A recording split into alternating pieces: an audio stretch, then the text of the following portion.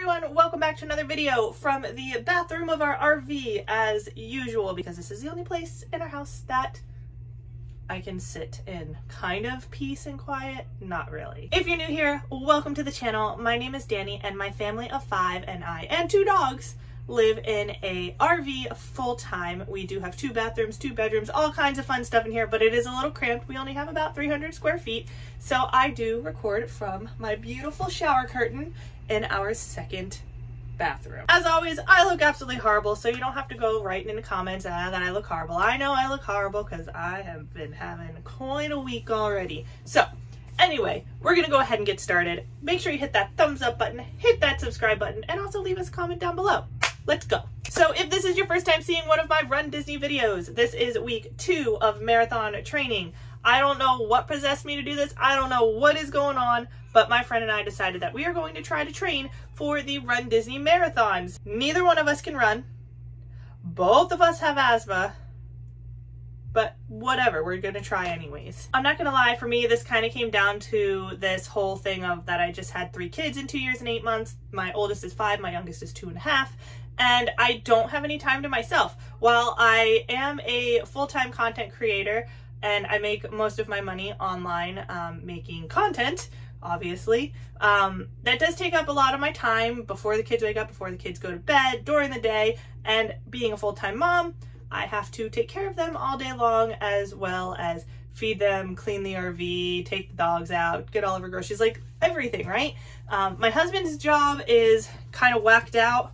Uh, his schedule is really, really crappy, so he works really late into the night and he starts before noon. So I only have him for a little bit during the early morning time and then he's basically gone all day.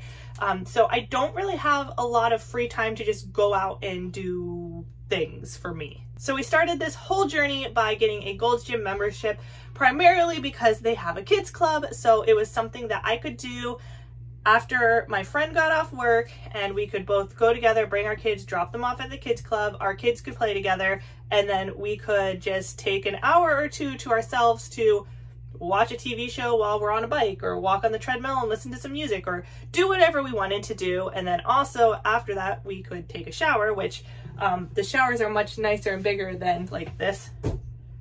This is how big this bathroom is. This is how big the shower is. Uh, we do have two showers. One's a standing shower. This one is a tub, but it's not very big. It does get kind of hot, but maybe for like 10 or 15 minutes. I actually like these showers better than our old house that we had.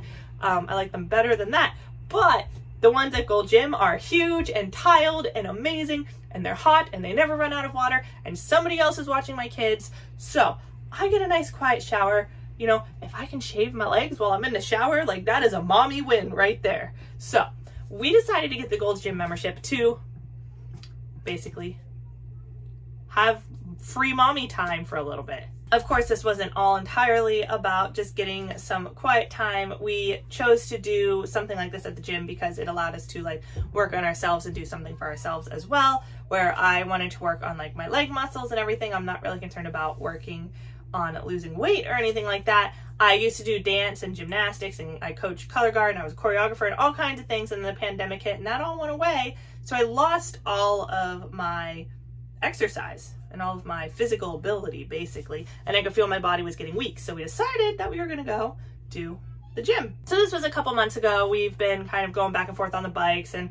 I never really got on the treadmill or anything. Every once in a while we would do some like minor weightlifting, but we just kind of took it easy. And then we just decided on a whim one day, like, we'd really like to do the Disney marathons, so why don't we try training on the treadmill? Which I thought was gonna be a really horrible idea because, well, I have really bad asthma and me and getting on a treadmill and running and doing really any type of cardio just has never mixed very well. But I said, hey, let's try it. Let's go ahead and do it. And then I saw that runDisney opened up registration for the April 3rd Tower of Terror 10 miler.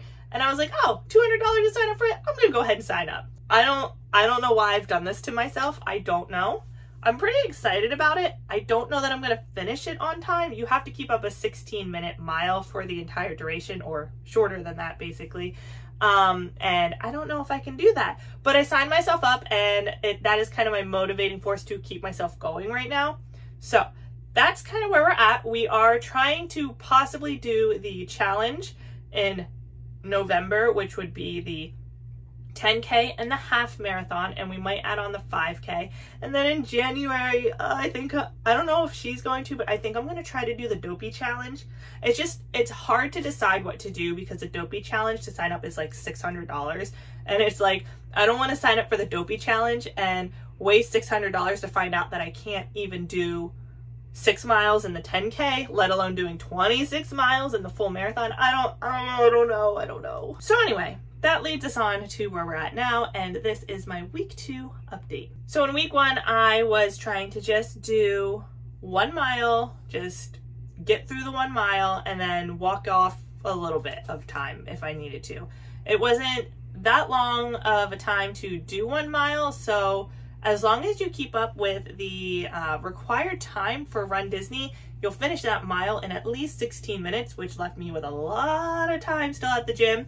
So we would either just walk a little bit or like get on the bikes or do some stretching or something like that and just kind of eat up some time at the gym. So I did not expect myself in week one to get through a full mile at all. I was hoping that I could run like day one that I could get through like 25% of the mile and then maybe by the end get through 50% of the mile running or jogging or something like that and just maintain that 16 minute mile which in school when you have to do like the mile fitness test that's probably where i was. I was at like 15 16 minutes because that was really that was as much as i could push myself without causing myself to have an asthma attack. That was pretty much all i could do. So i don't know if it was adrenaline. I don't know i don't know what happened i don't know if it's because we had been doing like some mild cardio on the bikes for a couple months prior to this but i ended up running a full mile a full like the whole thing, start to finish. I ran the whole thing on week one. I blew myself away. I don't know what I did. So at that point, I was feeling pretty confident that I could probably do the 10 miler because if I finished a one mile and it was like 13 minutes and 20 seconds or something like that, 13 minutes and something, at least I was already ahead by three minutes on the first mile. And as long as I kept up a really good like walking pace, then I knew that I would be okay. And I obviously wouldn't walk the last nine miles of this 10 mile run so I felt like I would be okay. So I'm, I'm excited for my 10 mile run.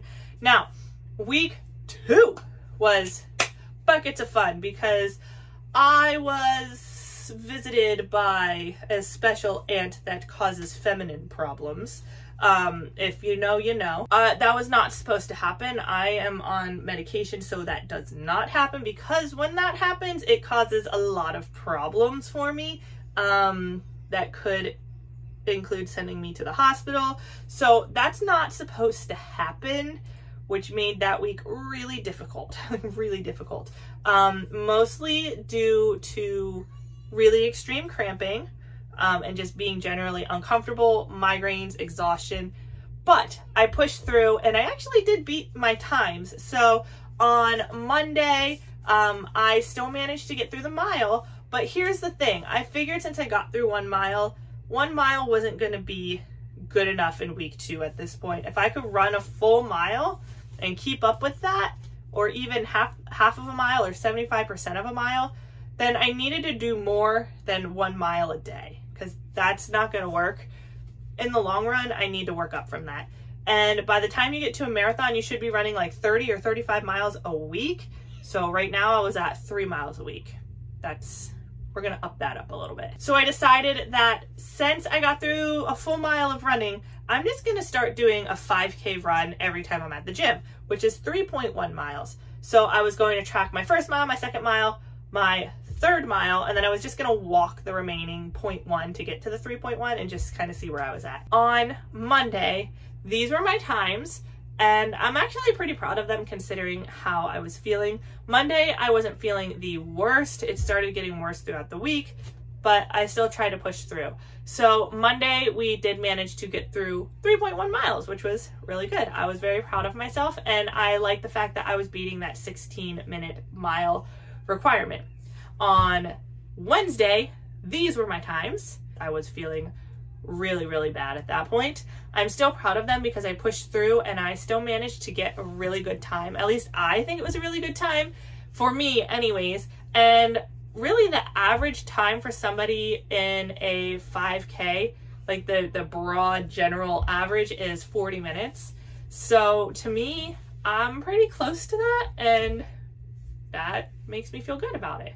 And then on Friday, these were my times and I kind of switched things up a little bit. I've kind of experimenting a little bit with running the first mile and then walking maybe the second mile, like the first half of the second mile, and then running another 25% and walking the last 25% of the the second mile. I don't know. Anyway, I'm trying to switch it up with that. Maybe like walk the whole second mile and then run as much of the three mile as I can. The problem is, is that I don't want to burn myself out too much. So I'm really worried about pushing too hard in the beginning and then being too tired to finish. So I'm trying to kind of balance that out and we'll see how it goes. Now, in week three, since I am making it through the 3.1 miles and I'm feeling pretty good after it, even though I felt really crappy that week, after I did them, I didn't really feel bad. Like my muscles weren't really hurting. I didn't feel like overly exhausted or like I worked too hard. So in week three, we are going to push it up to four miles and maybe depending on how that goes, maybe try five miles, but because of the time restraints I have while I'm at the gym and my kids are being watched, I don't know that I can fit in five miles or go further than five miles at that point. I'm thinking I might have to either try to get in when Danny is here in the morning and maybe go to the gym that's on our resort here at the RV park.